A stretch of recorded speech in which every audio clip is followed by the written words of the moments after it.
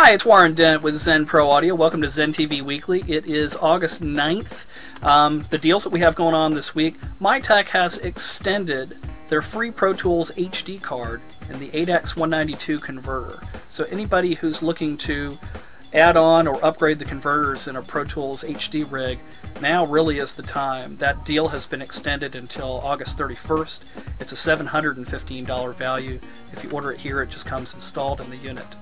Um, I've got some blue B-stock Woodpecker active ribbon microphones, and the Woodpecker is a very interesting mic in that it has a very hot condenser-like output and a lot of detail, but it still has that nice sort of mid-range focused, warm sort of ribbon sound to it as well. It delivers highs in a unique way for a ribbon mic also. People love them on acoustic sources. They do well on vocals also. But I've got those at 30% off. They're $6.99, and I've only got a couple of those left. Uh, speaking of microphones, I just released this week a Zen Pro Audio drum mic bundle. It's eight microphones that, really, regardless of price, are worthy of being a first reach type of microphone for any drum kit. It's eight mics, starting with the Electro Voice ND868 on kick. It's a very neutral, natural sounding mic that you can EQ really into anything you want, whether it's jazz, metal, or rock. The Audix i5 that delivers great crack, but body of a snare drum. It makes an SM57 sound like uh, the top head rather than the whole body.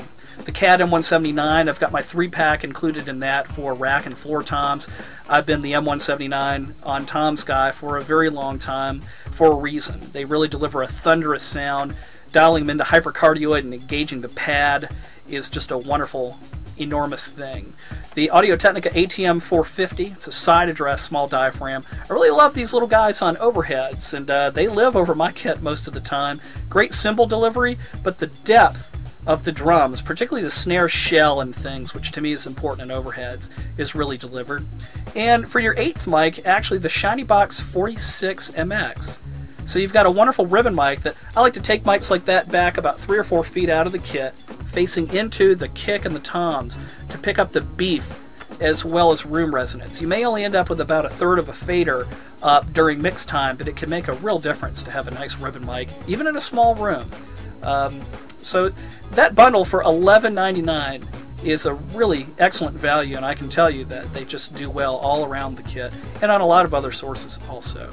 Um, Sonnox plugins are 35% off this month. I really am a fan of the limiter. Uh, it's very clean. You can use that in a lot of sort of you know faux mastering situations and things. The EQ is excellent good cleanish type of stuff. A little bit of character there, but it's a plug-in EQ.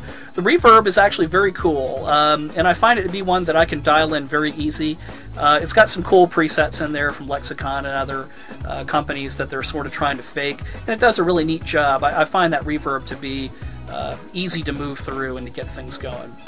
Um, as far as other things going on with the site right now, uh, Focal has started to ship the CMS 40s. I've got them up next to my twins back there, and I've been using them for a few days now with very good results. Um, it doesn't seem like they've gone for the whole fake bass thing like a lot of small speaker manufacturers do. Just a little smaller sound versus the CMS 50. So overall, very impressed with the CMS 40s right now. Uh, the Golden Age Pre 73 has been on a small back order. I have a very small batch arriving here on Wednesday, so I can quickly take care of some orders here in the very near future for mod and for stock units as well. Uh, Royer has announced a new microphone called the R101. It's going to street for $7.99.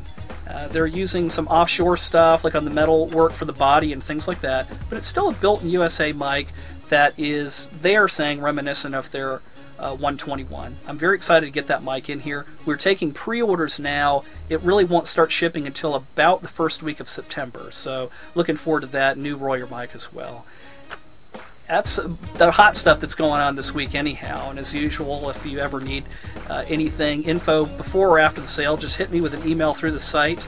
Um, and also remember that we work very hard to bring you gear now in Zen. Thank you.